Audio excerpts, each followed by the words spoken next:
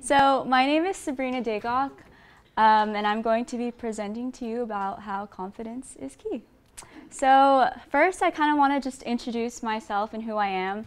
Um, I know a lot of you kind of already know me, but um, I am very passionate about fashion.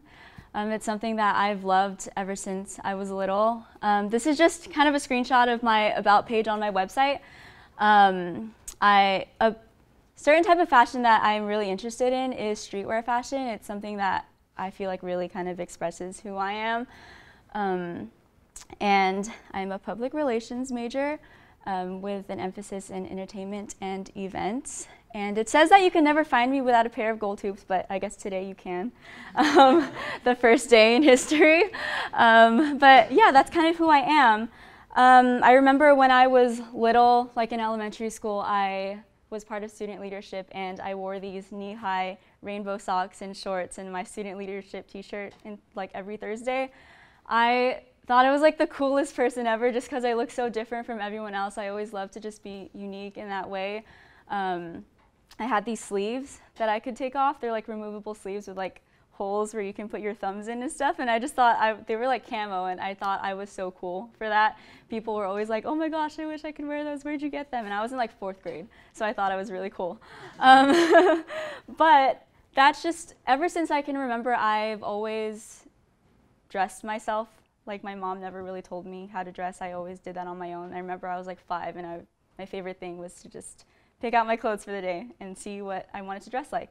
Um, but as for confidence, I think confidence goes way beyond clothing. I remember even up until now, I still have friends who ask me like, I wish that I could wear this. I wish that I could rock that, those camo pants. I wish I could wear that skirt. I wish I could dress like this.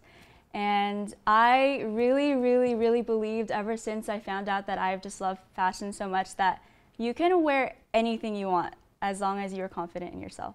And I really believe that. You can dress boho yesterday and then dress streetwear today and dress really formal tomorrow. And I think that if you're confident, no one's going to question whether you're supposed to look like that today. And I think that's really cool. So confidence goes way beyond clothing. I think it goes on to how you carry yourself, um, your happiness, and your success. And I also think that it's very important in the world of PR. So I think confidence um, is kind of like an external characteristic. But in the world of PR, this is my definition of PR that we were told to make through our time here at Biola. So public relations is a social art that requires effective communication, ethical reasoning, and selfless selflessness, reaching towards the greater good of the community by viewing both perspectives of the organization and its publics. So what I want you guys to focus on is public relations as a social art. I think in PR, it is, it is absolutely necessary. I don't think I know, we all know, that it's absolutely necessary to have social skills. Um, you're going to be collaborating with so many people, working, doing different projects with other people. You're always going to be surrounded by people and your publics. You're representing your publics. You need to talk to them and communicate with them. So I think it is an art to master, to how to be social with other people, because um, it doesn't come easy to just everybody. So I think you need that confidence in order to be effective in that way, in order to kind of be effective in being social. So I think that confidence is an, a good external characteristic. Um, I think it goes to how others view you and also how you carry yourself. Um, so how others view you, I think that and the way that you carry yourself, it makes people want to work with you when they see that you're confident in what you're doing. Um, I remember in high school, I took a photography class. And my teacher, he was the most fun teacher to be around, and he made the class just really fun all the time. And I remember he told the story that one time he had to get into this like exclusive area, and um, obviously he wasn't allowed to be there. But what he did was he taught us this lesson is that he literally just walked in. That's all he did. He just walked in. He looked as confident as he could, and he is not exactly the type of person that you can kind of just walk by. He's like six four, really tall, like skinny dude that you just notice him when he walked into a room. But he walked in and he was super confident. No one questioned whether he was supposed to be there or not. And he looked like he belonged. So I think that if you are confident in yourself and you look like you, you look like you belong, you'll feel like you belong as well. Um, and that's just kind of always stuck by me. So, in the world of PR, um, like I said, if you are confident in what you are working on, people will want to work with you. And I think that gives you more credibility um, when people see that you're confident in what you're doing and they would want to work with you. And like having that credibility is just a, what you want in your career. You want people to notice your work and people to know that you are good at what you're doing. But I think that confidence as an external characteristic really just stems from self confidence. And this is probably the biggest part of my presentation that I really want to share with you guys is about self confidence. Um, I think it is the most, impor- most important characteristic to have. And confidence and happiness, I think, go hand in hand. And here are some stats that I found. I kind of just want to share with you to see how important confidence and happiness go together. So, a large scale study done with 31,000 college students from 49 universities, 31 counties, and five continents. High self esteem was the most important factor, which predicted overall life satisfaction, and the link between confidence and happiness was 47%. 51% of the variations in our happiness are due to a combination of our self esteem, psychological well being, and affect balance. And I took stats, the stats route in high school. So 47% and 51% is very high um, in the world of stats, just considering how many people are involved in the study. But um, you can see, obviously, that confidence and happiness go hand in hand. But I don't want to just tell you these stats and make you believe that confidence and happiness go together. I want to tell you how you can achieve that and how you can do this for yourself through my own experiences and what I've gone through and um, just how I'm happy with my life because I know that I'm confident in my work and stuff. So, the most important thing that I can tell you, the most important, probably one of the biggest advice that I can give anybody, um, whether that be in the world of fashion and entertainment, music, whether you are a full time student or you're starting a family, you're retiring, any stage of your life, I think this, I'm still learning this, but I think from what I've learned so far, this is the most, this is the best advice I can give, is to take care of yourself.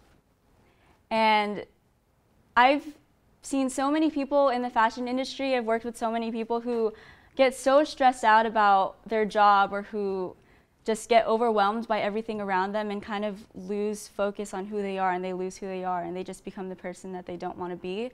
And I've just seen that happen so many times with bosses that I've had. So, what I can tell you and what I've been doing is to make a schedule. I live by the calendar on my phone. If I get my work schedule, I put it in there right away. If I know that I have to put a day on hold for a job, I put that in there. Or if I have class at a certain time, I put it down to the minute so I know exactly how my day is going to go and how it's going to be laid out so I can plan for certain things. And by making a schedule, you also have to make time for rest. And that is the biggest thing that I, the hardest lesson that I've had to learn. I feel like I'm still learning this. Um, last semester and this semester, I've just learned so much about that. Um, I always had two jobs, and internship. I took like 23 units last semester and just literally, I always just really like to feel busy and I never made time for myself. I never made time for rest. I was always like, okay, I have something till 12 and then I have something at 1. I have an hour to fill my time with something else instead of just sit down and do nothing. Um, so making time for rest can come in many different forms. It doesn't have to be just hanging out with your friends. It can be literally just sitting down and reading a book. Or even doing your homework can sometimes be can help me like not be stressed out from everything that's going on. So always make time for rest. And next, it's okay to say no. I also have to learn this because there are just so many opportunities that we're gonna get once we graduate and even now. And I just always wanna say yes. I'm like, okay, Thursday I have this job, and then Friday I can do this, and then Saturday I have to work, and I have to do all of this, and I will not have time for homework. And sometimes I wanna hang out with my friends on like Sunday, and I can't because I know that I have to do this. It's okay to say no to your friends sometimes. It's okay to say no to a job that you think is going to be very fruitful for you because there are going to be a lot of jobs that you're going to get and a lot of different opportunities you're going to have. So just take care of yourself. But something else that I kind of want to share with you guys is to just be confident in your ability. Um, I've learned so much here at my time at Biola. Um, I remember something I really remember is Professor Simon, he talked to me after class one time and just told me that I was really good at analyzing things, and I just never thought about that, and now I'm starting to notice that I do really love to analyze things. And I feel like here at Biola, the professors are really good at really showing you what you're good at, and I can like I feel like I can move forward with that and excel in those areas. Um, next would be to be confident in God's plan. Um, that's something I also struggle with. I I feel like I have a good grasp on what PR is now, but I don't know what I'm going to do after I graduate necessarily. I know that I know what PR is and I know that I like PR. I know I like fashion, but I don't necessarily know that I want to work for this person and this and exactly how my life is planned out. Um, I've learned to not have control over those things. And lastly is just to bring God to your industry. Um, in the world of fashion, you don't, or entertainment, you don't necessarily run into the nicest people all the time, and I've learned that. Um, I, how I bring God to my industry is just to always be kind to other people. You never know who you're talking to, and that's how I really feel like I'm showing God's love by just being kind to everybody. So find a way to bring God to your industry and just to be confident in your ability and be confident in God and everything will come through and you'll I feel like that will really bring true happiness to yourself. Um, and that concludes my presentation and opens up for questions if anybody has any.